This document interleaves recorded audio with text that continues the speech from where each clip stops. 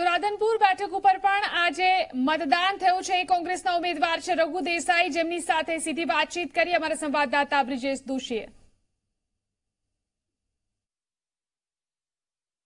રાધનપુરના પ્રતિષ્ઠાભર્યા જંગને લઈને જનતાએ પોતાનું જે મત છે, મત ઈવીએમમાં આપી દીધો છે અને હવે ચોવીસ તારીખે જ્યારે મતપેટીઓ ખુલશે ઈવીએમ ખુલશે, ત્યારે સ્પષ્ટ થશે કે કોની ફેવરમાં પરિણામ આવે છે. પણ આપણી સાથે કોંગ્રેસના ઉમેદવાર છે, તેમની સાથે વાત કરીએ. રઘુભાઈ, જે રીતનું ભારે મતદાન થયું છે પેટાચૂંટણીમાં પેટા ચૂંટણીમાં જે મતદાન થયું છે તમે પણ દાવો કરતા હતા સિત્તેર ટકા, પાસઠ ટકાથી વધુ મતદાન થયું છે. કેટલો વિશ્વાસ છે આ મતદાન તમારી તરફેણમાં ખરું?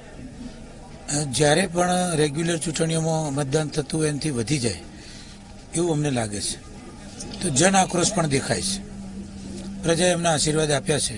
એવો મને પૂરેપૂરો વિશ્વાસ છે. કયું કારણ રહેશે કે પ્રજા તમને આશીર્વાદ આપે? એવું તો શું થઈ ગયું આ બે વર્ષની અંદર કે પ્રજા અલ્પેશ ઠાકોરને મૂકી અને રઘુભાઈને પસંદ કરે? ચાર ટર્મથી અહીંયા પહેલાં પણ બે હજાર સત્તર પહેલાં અહીંયા ભાજપ ચૂંટાતો હતો. ઘણા બધા પ્રશ્નો બાકી હતા. એટલા માટે જે લોકોએ એ ટાઈમે અલ્પેશભાઈને કોંગ્રેસ પાર્ટીને મત આપ્યા હતા. ફરીથી અલ્પેશભાઈ પાછળ ભાજપમાં ગયા. અને આ વિસ્તારના લોકો પક્ષ પલટોને કોઈ દિવસ સ્વીકારતા નથી. ભૂતકાળમાં પણ એવા ઘણા બનાવો બનેલા છે.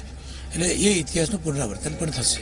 અલ્પેશ ઠાકોરનું કહેવું છે કે આગુ રાધનપુર મારું રાધનપુર એ થીમ સાથે વિકાસના નારા સાથે અમે ગયા હતા અને કોંગ્રેસે ફક્ત અમારા ઉપર બદનામીના આરોપ લગાયા. બીજું કંઈ કર્યું નથી એમનો કોઈ મુદ્દો નહોતો.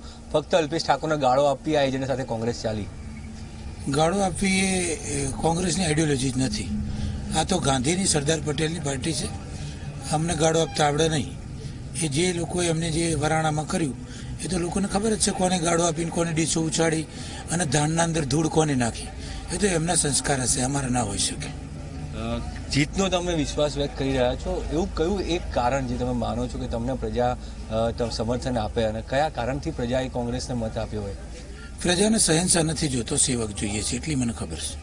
ધન્યવાદ રઘુભાઈ. શું જે રીતે વાત કરવામાં આવી કોંગ્રેસના ઉમેદવાર વિશ્વાસ વ્યક્ત કર્યા છે. જે મતદાન થયું છે, એ મતદાન જે છે, શહેનશાહ નથી જોતા સેવક જોઈએ છે ને એટલા માટે કોંગ્રેસે જીત થશે. કોંગ્રેસે ક્યારેય કોઈને ગાળો નથી આપીને કોંગ્રેસની આ વિચારધારા પણ નથી. તેવો દાવો કોંગ્રેસના ઉમેદવાર કરી રહ્યા છે. ત્યારે હવે જોવાનું રહેશે કે ચોવીસ તારીખે જ્યારે ઈવીએમ ખુલે છે ત્યારે શું કોંગ્રેસની તરફેણમાં પરિણામો આવે છે કે કેમ? કેમેરામેન શૈલેષ બગડા સાથે બ્રિજેશ દોશી, ઝી મીડિયા